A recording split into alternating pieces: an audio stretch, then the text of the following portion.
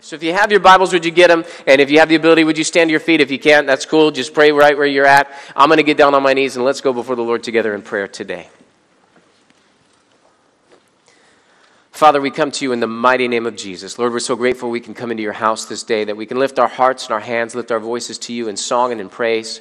God, we thank you that you've already healed and encouraged, strengthened and blessed, delivered words of wisdom and words of knowledge to those that are here, God, as we've encountered your presence, Lord. We thank you for what you've already done here in this place today. God, we don't want to stop there. We want to go farther with you. We want to go deeper.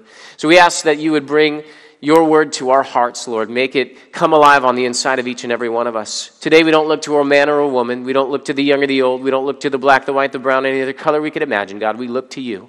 Holy Spirit, you are the true teacher of the church. So welcome in this place, Holy Spirit. Be our teacher, be our guide. Give us your vision, your wisdom, your instruction, your direction, even the correction we need for our lives. Lord, we'll give you all the praise and the glory and the honor for it. God, today we don't just ask this blessing upon ourselves, also we'd ask it for all of the churches, both here in the Inland Empire as well as around the planet, that are both preaching and hearing the gospel of our Lord Jesus Christ. We bless them as you would bless us, and at no time do we think of ourselves as any better than anybody else, but we see ourselves as co laborers and workers together in your field, building one kingdom, and that's yours.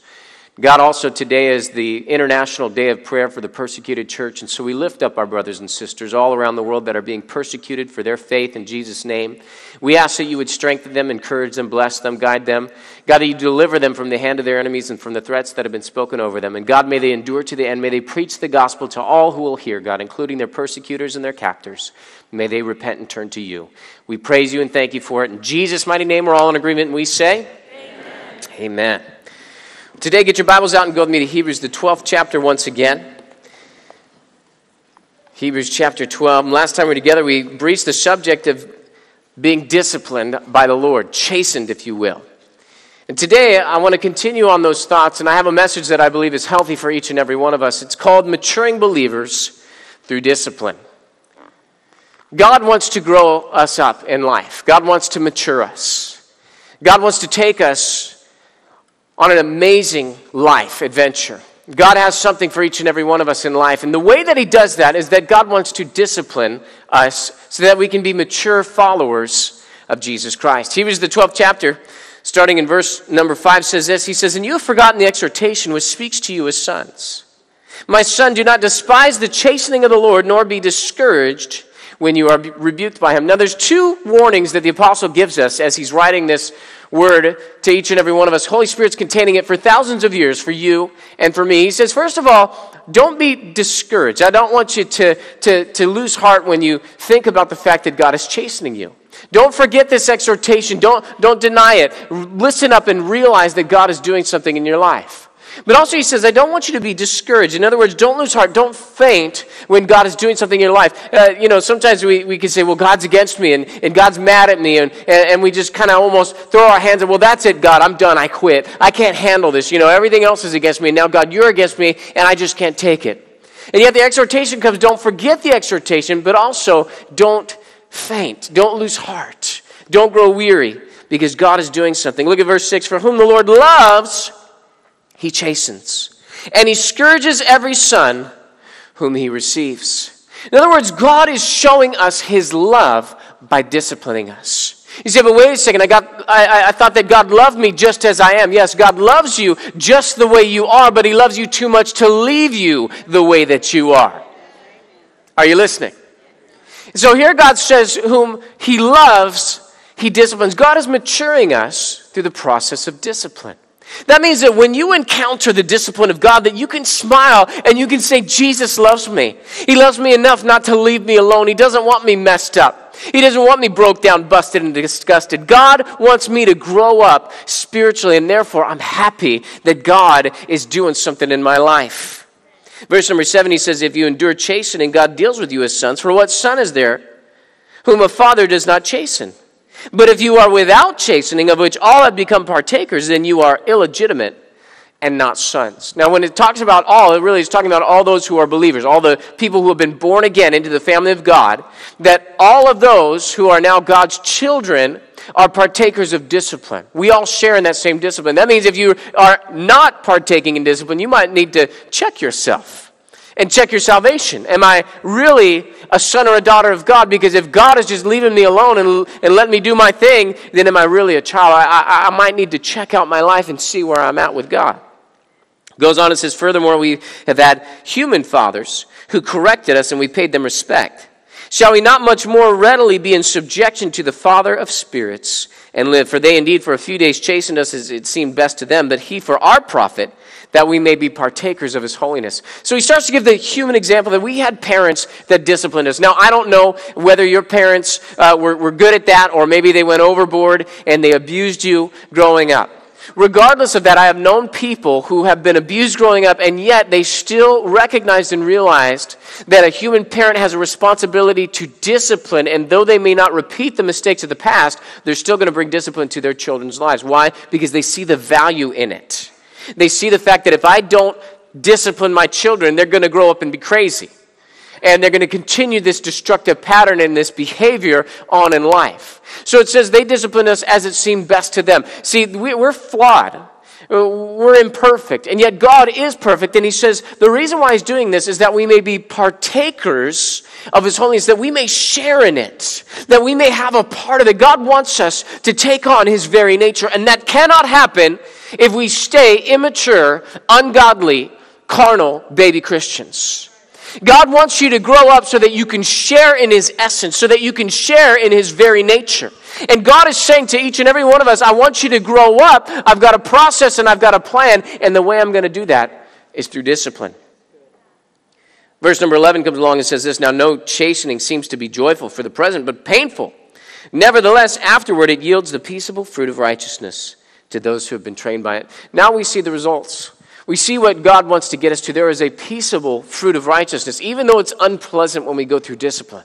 Even though it's tough going through the trial, God is saying something. He says, if you can endure the pain of the process, then you're going to grow up and you're going to produce the peaceable fruit of righteousness. That's where we all want to be. The New York Times had an article about uh, by, by a lady named Mary Pilon. It was called A Sprint and a Leap into the Unknown started out like this Wesley Williams placed his arms on the shoulders of Lex Gillette, a blindy long jumper, to line him up on the runway, then guided him down the track to let him feel the landing pit. Gillette made a couple of small hops into the sand. Can you imagine a blind long jumper? I can't even do it with my eyes open. Williams then steered Gillette back to the start of the runway and put him as far to the left in the lane as possible because Gillette usually veers right when he runs.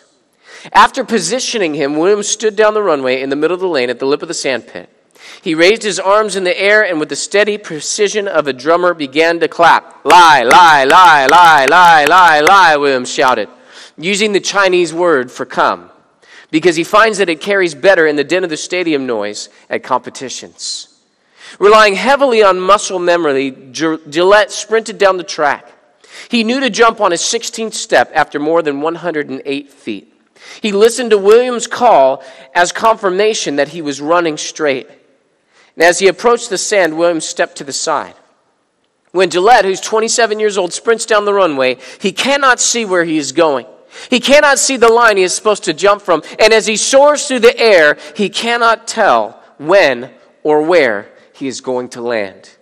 Gillette, with the help of Williams, his guide, holds the world record for his classification of the Paralympics at 6.73 meters, or a little more than 22 feet. That's pretty amazing. Now, the article doesn't say this, but Gillette doesn't only do long jump, he also runs track. And recently, he also took up BMX bicycle racing. See, he's not letting his disability impair his life. At age eight, a young, playful boy started to lose his sight. And yet, even though he had cataracts and he lost his sight, he continued to be a boy.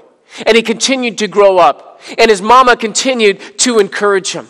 And he just loved to run. He loved to play. And he could remember his neighborhood. And he had an image of that in his mind. And so he would jump off of everything, his mom uh, recounted in one interview. He said he would just jump off of everything. And yeah, he had a lot of bumps, he had a lot of bruises, he had a lot of cuts and a lot of scrapes.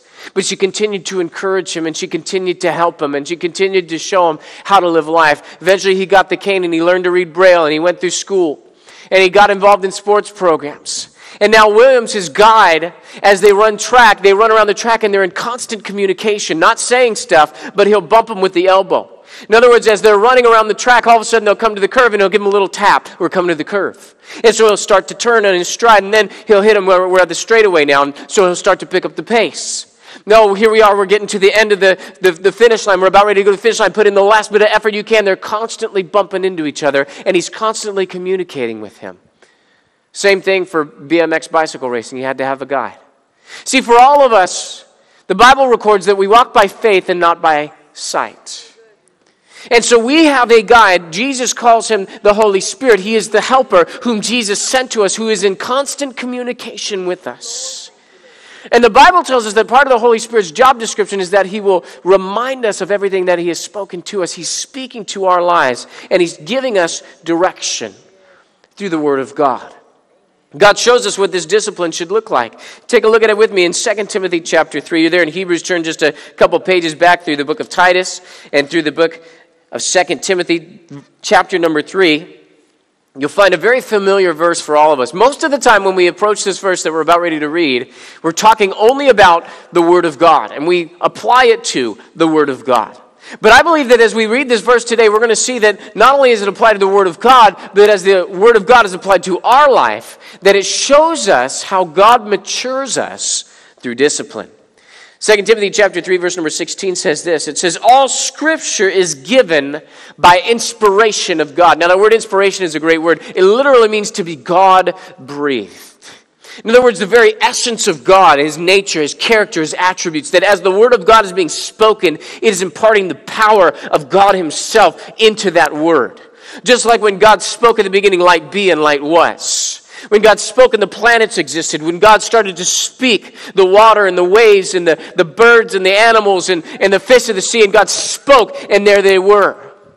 In the same way, the Bible says all scripture, the entirety of the Bible, is God breathed, that God is speaking and imparting his power in his word. Look at what it says, and it is profitable. It's good for us, it's helpful. It brings benefits to our lives. It's profitable for what? Look at this. First thing it says for doctrine. What is doctrine? Doctrine is simply a system of teaching. For reproof, for correction, for instruction in righteousness. Now, I believe that as we look at these words for a moment, that we're going to see how it is that God matures believers through discipline. So it's profitable for doctrine. In other words, God cannot expect anything of us if He doesn't tell us what to do and how to do it. So God gives us His Word. See, all Scripture is profitable for doctrine. All Scripture is profitable to show us the will and the way of God, not only what God expects of us, but how we're going to do it. And therefore, we cannot live life just without the Word of God. You can't live it however you want to live it. Otherwise, you will start making decisions for yourself and you will end up making the wrong decisions. We have to live a life based on the Word of God. In other words, if we never heard that we're supposed to brush our teeth, and so, growing up as a child, we never brushed our teeth. How many of you know the moment that you heard, hey, you should probably go to a dentist? Are you experiencing pain in your mouth? Oh, all the time. You should go to a dentist and get that checked out. We'll go to the dentist and they'll say, Why haven't you brushed your teeth? Well, no one told me. See, church, what you don't know can actually hurt you. And you cannot afford to be ignorant of the Word of God. You have to get into this and find out how do I live life? What does God expect of me? What is the way to do life? How should I do my marriage? How should I do my finances? How should I raise my children? How can I build a successful business? How am I to do relationships? What am I supposed to do in the community? What is my involvement? What, what, what am I supposed to do? See, we've got to get the answers we need for life from the Word of God because if we don't, it can hurt us later on in life. We need the wisdom of God. So it's profitable for doctrine, it's profitable for systems of understanding. God will teach you His will and His ways. But then it goes on and says it's also profitable for reproof. Now, what is reproof? Reproof, uh, a good word for that we find in Hebrews, the 11th chapter, when it talks about faith. Faith is the evidence of things hoped for, the substance of things not seen, right? So we know that that same word reproof is the same word for evidence. In other words, it brings light, it shows us how it is. So once we understand what it is that God wants of us, how God wants us to do it, then when we start to operate in it, we can go back to the Word of God, and the Word of God will show us our current position.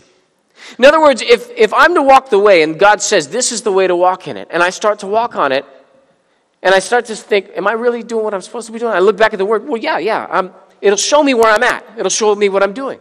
Now, let's say I start to get off course a little bit. I start to walk off track, and I say, you know what, I like this. This feels comfortable. This feels good.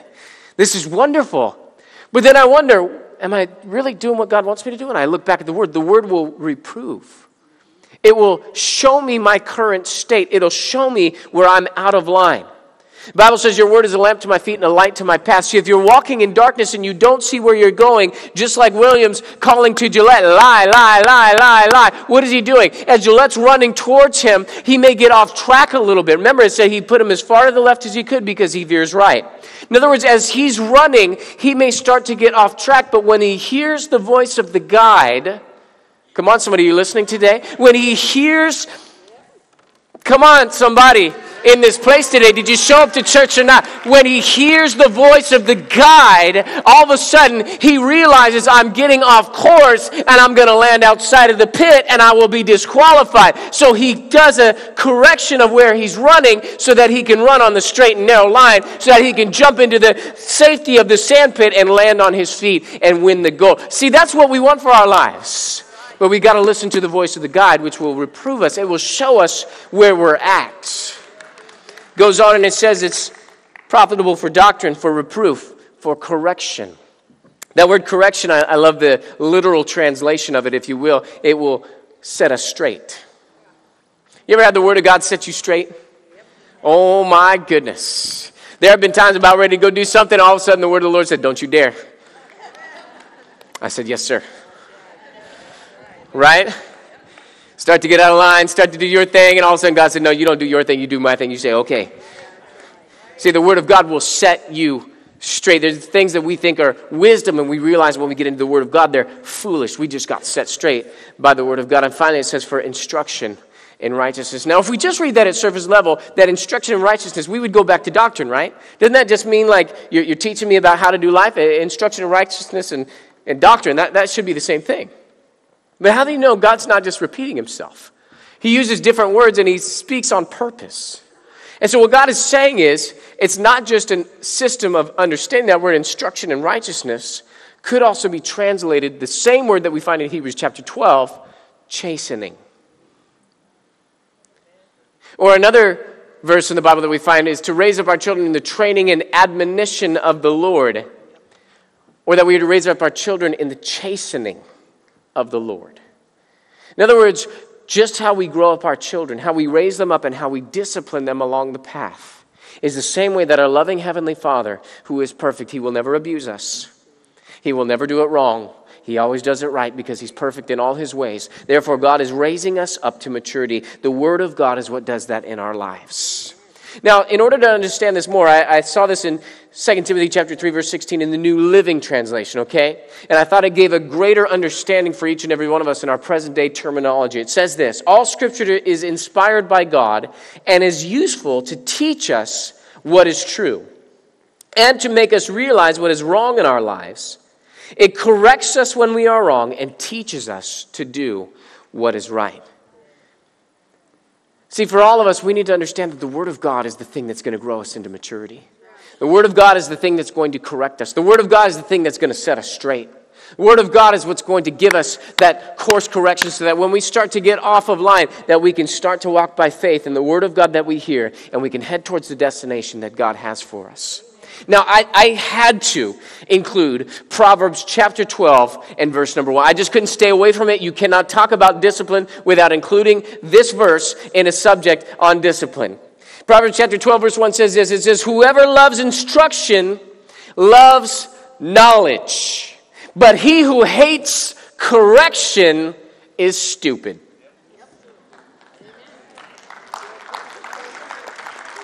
Got to have that verse. You say, Pastor, why you got to have that verse? Here's why. Because many times we're stupid. It's okay to say amen. Okay, because I'm including myself in this with you. Because there have been times where I know what to do, and where I've heard the Holy Spirit's voice, and, and where God has set me straight, and yet I still said, God, I'm going to do me right now. Stupid. In other words, when we make the choice for ourselves, rather than do life based on the Word of God, we do life based on our own thoughts, our own desires, our, our, our, fleshly will, the want that we have, rather than what God wants. Now all of a sudden, you're dumb. Lean over your neighbor and say, Did Pastor just really call me dumb right now? Is he calling me stupid? Look at your other neighbor and say, Yeah, he did. Yes, he did. But if we listen, if we love instruction, then we love knowledge. We love what it is that God wants for our lives. And all of a sudden, we will start to grow, we will start to mature. See, discipline is not a dirty word, guys. Oftentimes we think of it as so bad. Our society's made this out. They, they, they say you're not supposed to spank your children. No, please do it in love. Do it. The state of California said a little, little spanking on the buttocks. That, that's completely allowable. Okay? So the word of God comes along and says, get a rod, the, the rod, little, little bit of correction, just a little teeny tiny thing. And I always do it right on my arm first to make sure I'm not doing it in anger, make sure I know what it's going to feel like. And you just get that little thing and you go across the bare buttocks and it just gives a little snap. It doesn't make a mark. You're not supposed to leave a mark when you discipline your children. That's what the law says, okay? And so, so you just give a little snap. It leaves a little, little sting, little shock and awe, right? And the child realizes I was wrong, you were right, I don't like that, and I'm going to get in line. See, discipline is not a dirty word because then your children will start to live lives the way that they should and not be crazy. In other words, if you tell your child you shouldn't be doing drugs, you shouldn't be sleeping around, you, you should be respecting authority, but you never discipline them when they get out of line, they're just going to do their thing. There's no consequence. See, for all of us, God is saying, I want you to be a disciplined follower of Jesus Christ. In fact, that's the definition of a disciple. You cannot be a follower of Jesus without being a disciple. We are disciples of Jesus Christ. That means we are a disciplined follower of Jesus Christ. Discipline is not a dirty word. Discipline is good for our lives. And when the Lord disciplines us, we should smile and say, God loves me because I'm his child, and therefore he's bringing discipline into my life. Good for us.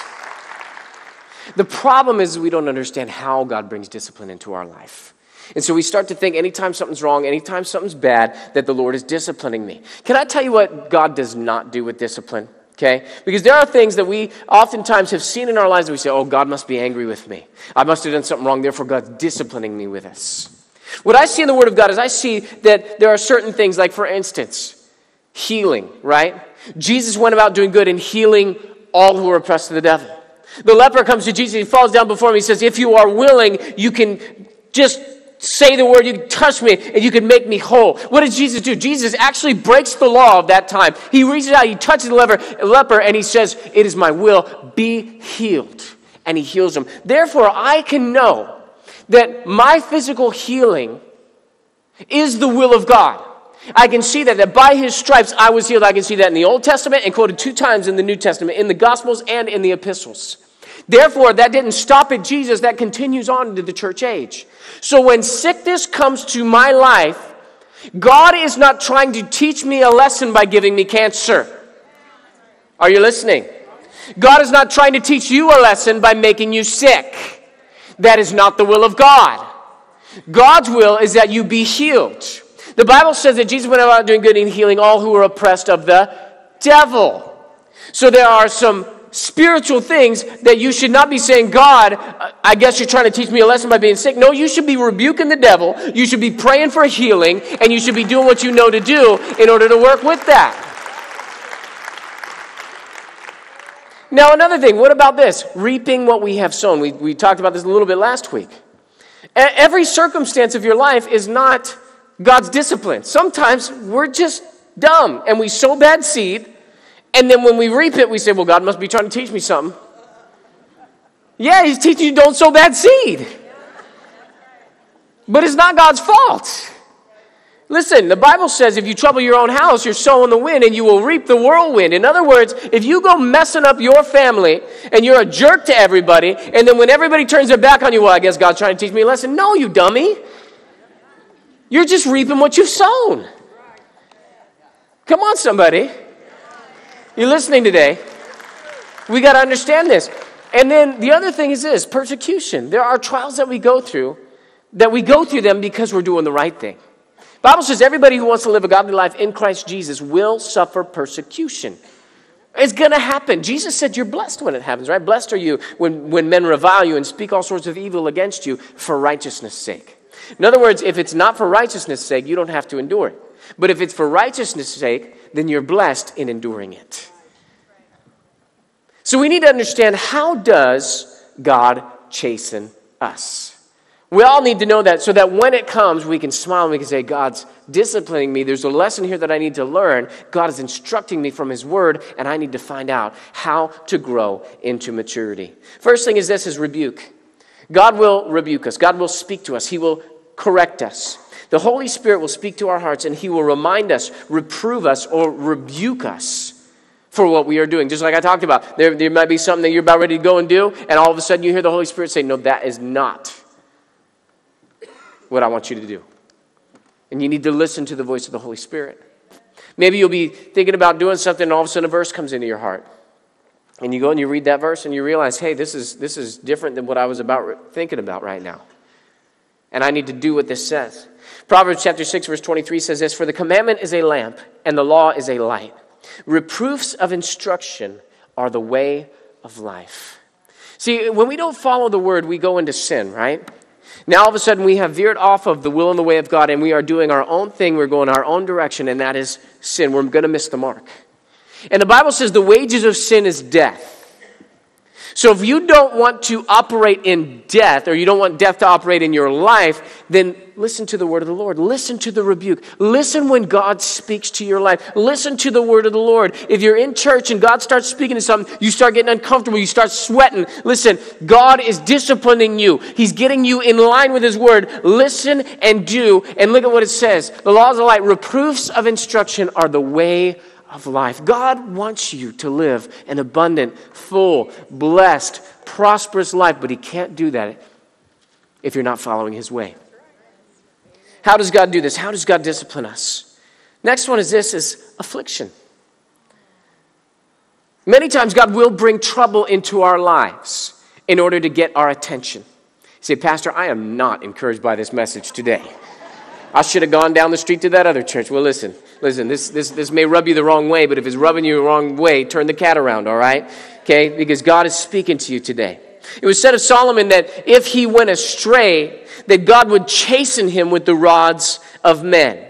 See, sometimes the trouble we face from people around us is intend us to send us back to the Word of God. God will bring oftentimes troubling situations or troubling times so that we will seek Him once again. God knows how to get a hold of our attention. And there may be times where God is speaking to us, and hey, hey, you're going the wrong way. The word says this, the word says that, and we just keep going. We're, we're, we're dull of hearing. And so God says, okay, that's it. You're going that way. There, go ahead, go down that road. You'll, you'll find some trouble down there, and it'll send you back to me. Let me show it to you in the Word of God, Psalm chapter 119. Turn there with me. Psalm 119. The longest psalm, the longest chapter in the Bible. Psalm 119, we're going to take a look at two verses. Psalm 119, verse number 67, and then we're going to read verse number 75. Psalm 119, verse number 67 says this Before I was afflicted, I went astray. But now, in other words, after I was afflicted, I keep your word. Do you hear what he just said? He said, God, I learned the lesson. Amen. Before I was afflicted, I went astray. In other words, before there was trouble, I kept doing whatever I wanted to do.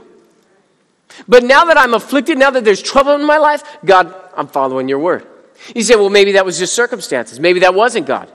Well, hold on a second, okay? Because does God really bring trouble? Do we go through troubling situations, troubling times? Okay, verse number 75. I know, O Lord, that your judgments are right, and that in faithfulness you have afflicted me. So, in other words, he points to God and he says, God, this affliction is not just circumstances. God, this is from your hand. But you did it in faithfulness. Why? Because God, you don't want me going the wrong direction. And you love me enough to care enough to get my attention and to get me going on the right track. And you used affliction, you used troubling times to get me back into the will and the way of the Lord. Can anybody identify with that and say amen today? So, how does God discipline us? How does God chasten us? He does it through rebuke, He does it through affliction. Last one is this through withheld desires. Through withheld desires. How many parents do we have in the place? Any parents in the place? All right, look at you guys. Okay, some of you guys have this uh, happen at your household. You, are you're having dinner, right? And you've got a great dinner planned. It's a healthy dinner. And then afterwards, because you had such a healthy dinner, you're going to have an unhealthy dessert, right? We're just going to cheat. It's going to be wonderful we got a big old cake, right? And you, and you got this cake with you maybe going to cut up some strawberries and put whipped cream and chocolate sauce and M&Ms and every candy you can find in the house on it, right? We're just going to go all out on dessert because we're going to eat a healthy dinner. And so everybody sits around the table and you pray together and you eat your dinner. And afterwards you start cutting the cake and, and you got the cake there set up and all the kids are there drooling over the cake and you're putting on the strawberries and you're putting on the whipped cream and you're putting on the candy and the caramel and the, uh, oh my goodness, everybody is just ready. Your, your fillings in your teeth already hurt. It just looks so good, right? And you look over at one of your kids and they're just drooling. And you look from them and you trail up to the dinner table and wait a second, you didn't eat your dinner. You don't get no cake if you didn't eat your dinner. You go sit down at that table and you eat every last bite, and when you're done with your dinner, then you can come have the cake because this is a reward for doing what you need to do. And so, what do they do?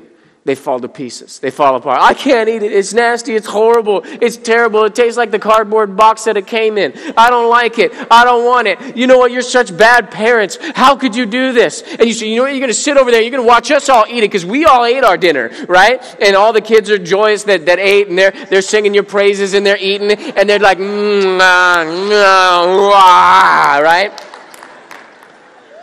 And so the other one that didn't eat's over there at the table just for hours, and they're, they're dying over there. And finally, the, the desire for the cake gets so great that they take that spoonful of whatever it is that you made, and they and you would think that they were swallowing cyanide pills or acid or something, right? Ah, oh, ah. Okay, I had a bite. Can I have dessert? No, you got to eat the whole thing. Oh no, right? And so they painstakingly eat the whole thing and, and they're passing out, they're falling on the ground, and finally they, they reach up and they've eaten the last bite and they climb back to the top of the table. And, and Daddy, Mommy, I ate my dinner. Can I have some cake? What do you do? You hand them the cake, right? See, God in His wisdom is no different. Because if God blessed us while we were out of line, we would stay out of line. So God withholds desire. You, but, but wait, wait, wait, wait. The Bible says no good thing, no good thing will He withhold from those who fear Him. Well, listen, if you're not fearing Him, He'll withhold. Therefore, we have to understand that God will withhold things from us that we want, that we desire, that are good for our lives in order to get us in line with His Word. Once you get in line, once you start fearing the Lord, no good thing will He withhold from those who fear Him. Amen. That's good news for all of us. Last verse, last verse for today, Deuteronomy chapter 8. Turn there with me quickly. Turn there with me quickly. You guys are amening so good, I'm preaching too long. It's all your fault. Deuteronomy chapter number 8, verse number 2. Look at this. It says, And you shall remember that the Lord your God led you all the way these 40 years in the wilderness. So he's speaking to the children of Israel, and these are the ones who did not die in the wilderness. These are the ones that were raised up. These are the ones that had to wander 40 years because of the sins of their fathers and their mothers who did not believe and did not enter in. The ones who tested God 10 times. God could have wiped that generation out all at once, and he could have taken the children into the promised land. And yet he didn't. He withheld something from them. Why? Look at what it says. It says to humble you and to test you, to know what was in your heart, whether you would keep his commandments or not. Verse number three. So he humbled you and allowed. He allowed it to happen. He allowed you to hunger and fed you with manna, which you did not know, nor did your fathers know that he might make you to know that man shall not live by bread alone, but man lives by every word that proceeds from the mouth of the Lord. Where did we start today? We started at 2 Timothy chapter 3 verse number 16 that all scripture is God breathed. Man shall not live by bread alone, but by every God breathed word from the scriptures, from the mouth of God. God is teaching us, God is training us, God is maturing us through discipline. And we need to understand that this is not about natural physical things. It's not about our wants and our desires and our appetites. This is about the Word of God governing our life. And so God will withhold good things, our desires, in order to get us in line with His Word. Look what it says, verse 4 Your garments did not wear out on you, nor did your foot swell these 40 years. Verse 5 You should know in your heart that as a man chastens his son, so the Lord your God chastens you. Verse 6 Therefore you shall keep the commandments of the Lord your God to walk in his ways and to fear him. Once you fear him, no good thing will he withhold from those who fear him. If you can identify today, maybe you're sitting in here and you realize God is disciplining me, God is chastening me. Maybe you've been hearing the rebuke of the Lord, you've been hearing the word of God come to you through the Holy Spirit. Maybe today you realize that the trouble that you're in uh, wasn't something that maybe you, you sowed and now you're reaping. Maybe the trouble that you're in isn't because of persecution for righteousness' sake, but you realize you're out of line and this trouble has come upon you and that God has afflicted you in order to get your attention. Maybe today you realized as, as you were sitting here that there have been some things you've been believing God for, you've been confessing, you've been praying, and yet you're not receiving, and you realize, you know what, I might not be walking in the fear of the Lord, and I need to take care of that. If you realize that you're in that spot today, then you can smile. You can rejoice because God is your Father and because God loves you enough not to just leave you alone to do whatever you want to do and live however you want to live and be out of line, but God loves you enough to grow you up into maturity and He's leading you on the path of discipline.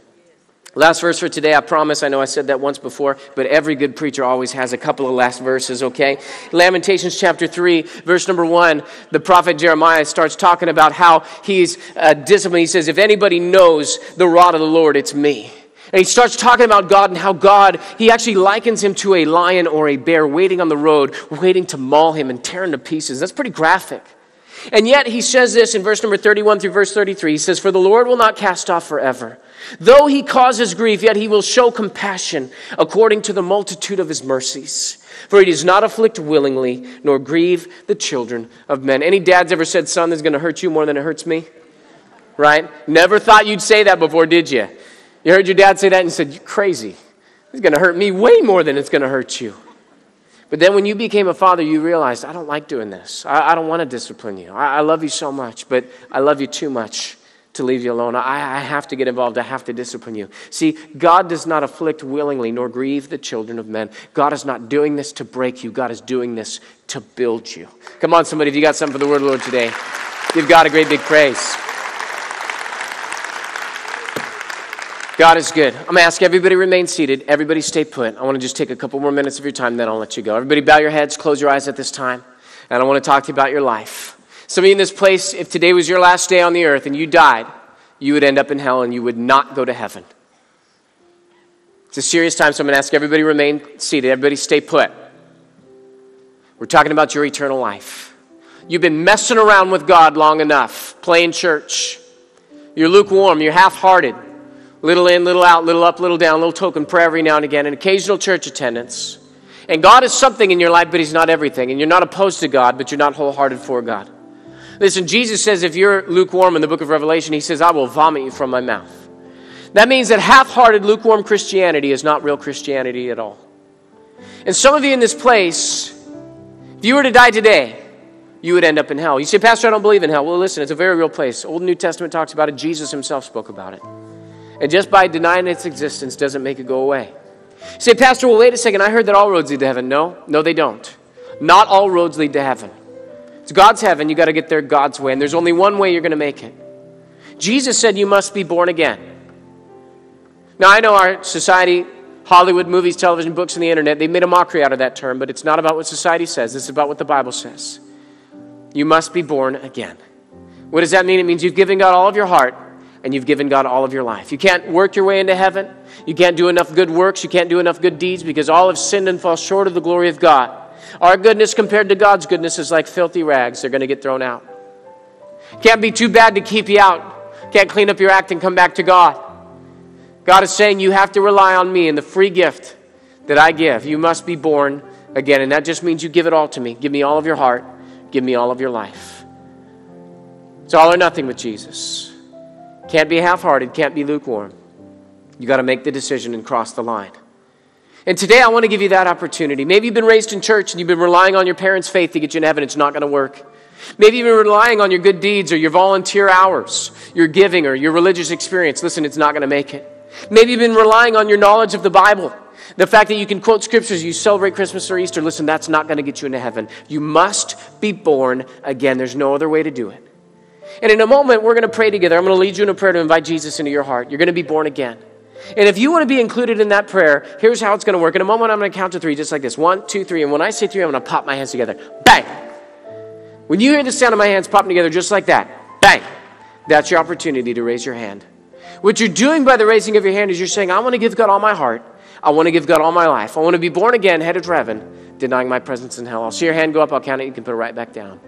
And then after that, we'll call you forward and we'll pray together to invite Jesus into your heart. You're going to be born again. And you say, I might be embarrassed. Yeah, you might be, but listen, do you think Jesus was embarrassed of you when he was beaten, bloody, hung on the cross? Listen, he went openly, boldly. And now Jesus says, if you confess me before men, I'll confess you before my Father in heaven. But if you deny me, I will deny you. So today, your call, your choice. Who should raise their hand if you've been running from God instead of to God? I'm speaking to you. Who should raise their hand if you're not sure about your salvation? Today is your day. Make sure. Who should raise their hand if you've never done this before, never said yes to Jesus, given him all of your heart and all of your life? I don't care if you've been in church every day of your life. Come on, get ready to get your hand up. You can do this for the first time today. Or finally, who should raise their hand if you've been lukewarm? You know you've been messing with God. It's time to stop messing with God and get right with Him. Get ready to get your hands up. All across this auditorium, back in the family rooms, wherever you're at, watching by television, the foyer, down at the Love Rock Cafe. Come on, get ready to get your hand up. Even online, wherever you're at across the nation and around the world, you can get your hand up right now. God sees and God's watching them. We'll pray together. If you want to be included in that prayer, get ready to get your hands up. Here we go on the count of three. One, two, three. Let me see your hands. Just raise them up high right now. Thank you. There's one, two, three, four. Thank you. Five, six. Got you over here. On this side, who else? Six wise people already. Six wise people already. Seven, eight. Got you up there in the family room. Nine. Thank you. God bless you. Who else today? There's nine wise people already. Nine wise people already. Up on top, there's 10. Got you over there. God bless you. 11, 12 in the family rooms. Got you guys. Thank you. Thank you. Who else today? You want to be included in that prayer? Come on. Come on. Come on. If this is your time, just get it up high. Thank you. Got you right there. 13. Come on, number 14, number 15. You're sitting there wondering if you should do this. Yeah, you should. Let's go for God today. If that's you. Anybody else, real quick, just raise it up high. Just raise it up high right now if that's you. Anybody else? Just want to give you one more moment, one more opportunity, then we're going to pray together. We'll let you go. Anybody else? Anybody else? Thank you, number 14. Thank you, number 15. God bless you. Last call, and then I'm going to wrap this up. We're going to pray together. One last call. Where you at? Got you up there. Thank you. Thank you. All right, let's give the Lord a great big praise today. Hallelujah. Okay. Here's what we're going to do. Reverend Elijah's going to lead us in a song. As he sings that, I want you to get a hold of your coat, sweater, Bible, a friend if you need a friend. I want you to get in the aisle. Meet me up front. If you raise your hand, you should have raised your hand. This is your time. This is your moment. No one leave during this time. Very rude. Trying to get people to come up here and you're walking out there. Listen, let's not be rude to the Holy Spirit. Let's allow them to come. We'll let you go in a minute. But let's all stand and let's welcome them. And if you raise your hand, you should have raised your hand. You come right now. Come on down. Let's pray together. Come on. Come on. From the family rooms, bring your children. Come on down. They'll remember this. Jesus, I belong. They're coming. They're coming. Come on. You can come The too. reason that I live, you're the reason that I breathe. Hallelujah. They're still coming. Come on. You can come too. Just make it way to the front right now. Jesus, I belong to you. You're the reason that I live. Come on. Come on. This is your time. This is your moment. Believe. They're coming. They're coming. You can come too. Oh, Jesus, I believe. Jesus, I Come on, let's keep it going for them. This is your time. You can come right now. Come on. Come on down. Come on, make your way to the front right now. If you've been wondering if you should. Yeah, yeah, you should. Come on.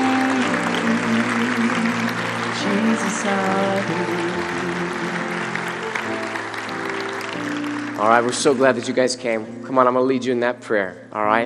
Best moment of your life right here, right now. Everybody's going to join in with you. We're going to pray a simple prayer of faith to invite Jesus in your heart. You're going to be born again, okay? And as you do, listen, you may mess up on a couple words. It's not about the words of your mouth, it's about the prayers of your heart right now. So let's all bow our heads. Let's all close our eyes. Everybody's going to join in together and say these words. Say, Father God, I come to you now in Jesus' name. I give you all my heart and all my life. Come into my heart.